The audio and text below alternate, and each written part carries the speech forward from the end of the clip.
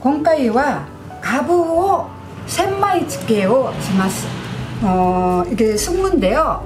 숙무를 어, 소금에 절이는 건데 이 교토의 집게모노예요. 그래서 굉장히 어, 많은 분들한테 상, 사랑을 받는 집게모노인데 이 숙무가 늘 나오는 게 아니기 때문에 무로 많이 이용을 합니다. 숙무가 가부가 이치모 데테나이 노데 다이콩に 가와리모 데키마스. はい。まず、この〇〇使いたい時は1日前、塩をつけておくんです。これをこうやったら塩をつけて1日つけておきますね。置いたら全部しんなりなったところで、この、はい。私はみりん使ってないので、お酒とかお酢、はい。それからお砂糖、塩、 はい、入れてすんこれスムを粗塩でつけて1日置いてください그러면순무를죄송합니다 순무를 소금에 절여서 하루 정도 이렇게 두어주세요 그러면 순무가 절여지거든요 그때 식초 음, 이제 술 그리고 설탕 소금을 넣고 이렇게 좀 끓여주세요. 끓여주시면 설탕과 소금이 다 녹습니다. 그럴 때 또 다시마를 이렇게 닦아주시고 다시마를 닦아서 닦아서 분을 전부 덜어주세요. 이렇게 분을 덜고 또 편하게 조금만 이렇게 잘라주세요. 이렇게 잘라서 준비해놓고 이 고추도 편하게 좀 잘라서 주세요. 이렇게 지금 다 녹도록 소금하고 설탕이 은은한 약한 불에 다 녹게 해주세요. 이게 다 녹고 나면요. 한 김 나간 후에 그냥 붓겠어요. 그러면 야채가 굉장히 쫄깃쫄깃해요. 어, 씹는 맛이 이제 살아나거든요. 네, 이거를 이렇게 다 녹아주시고 이렇게 다 녹으면 불을 껐습니다. 그리고 숙물을 지금 이 잎삭도 지금 다 넣었는데 잎삭도 같이 절여서 먹어도 맛있지만 이 머리를 잎삭을 자르고 자른 다음에 이거를 이런 식으로 슬라이스 약하게 이렇게 좀 저밀어 주세요. 썰어줍니다.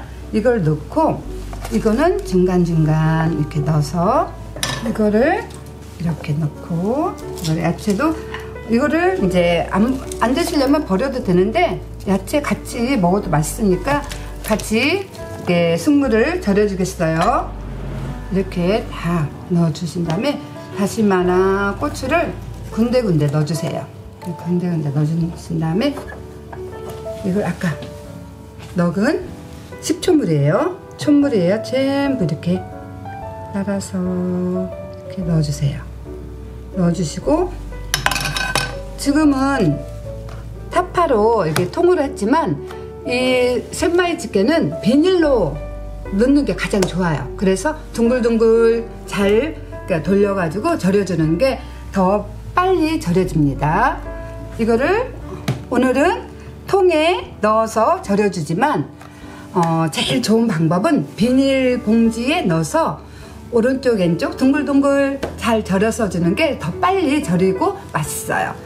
그리고 이거는 오늘은 랩을 써가지고 이것도 무거운 무거운 이렇게 무거운 거 있잖아요. 그런 식으로 이렇게 눌러줘야 돼요. 눌러서 이렇게 놓아두면 하루 정도 밖에 놔두세요. 근데 여름에 밖에 놔두면 어떻게 되겠어요? 안 돼요. 밖- 여름에 밖에 놓으면 안에다 냉장고에 집어넣어서 좀 무거운 거에 이렇게 눌러주시면 어, 소금 맛이 쫙 하고 촛물이 맛있는 달고 새콤한 맛이 들었습니다. 그리고 이렇게 해서 숙무 절인 걸 절인 김치인데요. 이것도 더 새, 새콤하고 맛있게 드실 거는 유자. 지금 저희들 여기다 다시마, 고추 다 집어넣었잖아요. 그럴 때 이렇게 아예 그뭐 사이사이에 유자 그 껍질만 해서 집어넣으면 또 상긋하고 맛있습니다. 만약에 유자가 없어요. 그러면 레몬을 그렇게 좀 이렇게 겉만 잘 발라서 채쳐가지고 넣어도 맛있습니다. 어, 일본에는 여러 가지 츠케모노가 있는데 숙무가 없을 때는 뭘로 하죠? 뭐로 해요? 무가 굉장히 맛있습니다. 샌마이 찌개는 교토의 항토 음, 음식 중에 한 가지입니다. 여러분 어떠세요? 일본 분도 한국말 공부하시는 분들 많이 봐주세요. 또한 한국에 있는 분들이 일본 요리에 관심 있는 분들 많이 시청해주세요. 오늘은 어, 일본의 숙무 가부예요. 한국 숙무 김 숙무하고는 조금 이렇게 씹는 맛도 틀리지만 이걸 절여서 먹으면 굉장히 맛있습니다. 별미예요. 이거를 지금 아까 통에 담았지만 그 무거운 걸 이렇게 눌러놨어야 이게 잘 좀 이렇게 빨리 절여지거든요. 이거를 제가 아까 말씀드렸죠. 비닐봉지 정말 편하고 좋습니다. 그래 비닐봉지에 이거를 보세요. 자, 아까 절인 거 지금 물이 나오고 있습니다.